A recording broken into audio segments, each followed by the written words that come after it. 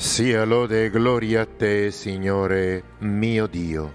Bandiere LGTB che rappresentano l'amore per le città di Sodoma e Gomorra sventolano in una chiesa a New York, precisamente nella chiesa di Sant'Ignazio a New York. Tante volte mi sono chiesto perché mai Gesù Cristo avrebbe detto ma quando il figlio dell'uomo verrà sulla terra troverà ancora la fede?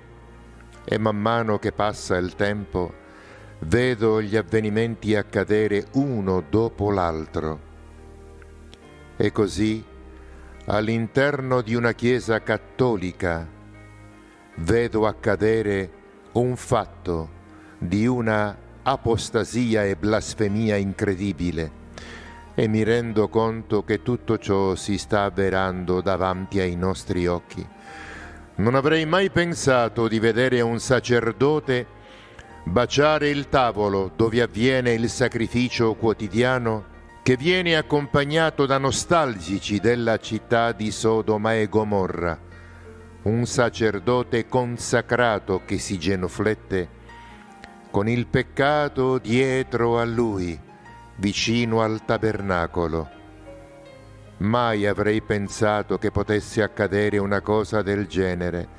Vedo e sento spesso gli islamici ridere di noi per tutto questo.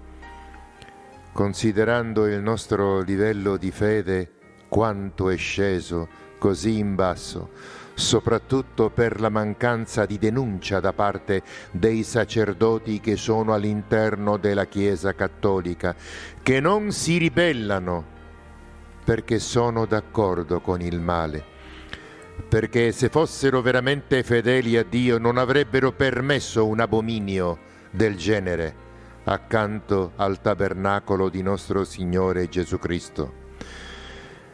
E migliaia e centinaia di migliaia di sacerdoti andrebbero dinanzi alla casa dell'attuale impostore per dirgli di lasciare il suo posto a un vero servo di Dio. E invece stanno tutti rintanati nelle loro chiese a dire in unione con il nostro Papa Bergoglio. È incredibile. Hanno preferito rinunciare all'unità con il vero corpo di nostro Signore Gesù Cristo e restare vincolati a un servo del male. Signore, venga il tuo regno. Amen. Negli ultimi tempi verranno uomini dalla religiosità apparente. Dice San Paolo nella lettera a Tito, capitolo 1, versetto 16 persone che dichiarano di conoscere Dio a parole, dichiarano di conoscere Dio ma lo rinnegano con i fatti, essendo abominevoli e ribelli, incapaci di fare il bene. Questi signori che stanno a scaldare la panchina sarebbero dovuti andare via perché non si può stare nella tana del lupo pensando di onorare il pastore. Questi soggetti che stanno lì seduti non possono bere il calice del Signore e il calice dei demoni, non possono partecipare a una mensa che non è più del Signore, ma è una mensa dei demoni. Osea 9:4 Non faranno più libagioni di vino al Signore non gli saranno graditi i loro sacrifici, perché saranno per loro come pani di lutto, come pani di morte, e quanti ne mangiano diventeranno impuri.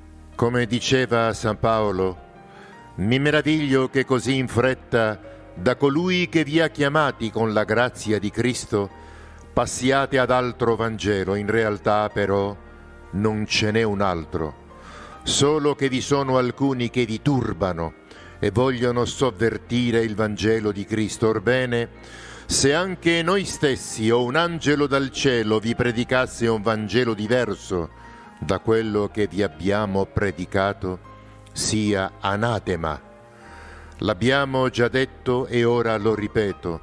Se qualcuno vi predica un Vangelo diverso da quello che avete ricevuto, sia anatema. Infatti, è forse il favore degli uomini che intendo guadagnarmi o non piuttosto quello di Dio? Oppure cerco di piacere agli uomini? Se ancora io piacessi agli uomini, non sarei più servitore di Cristo.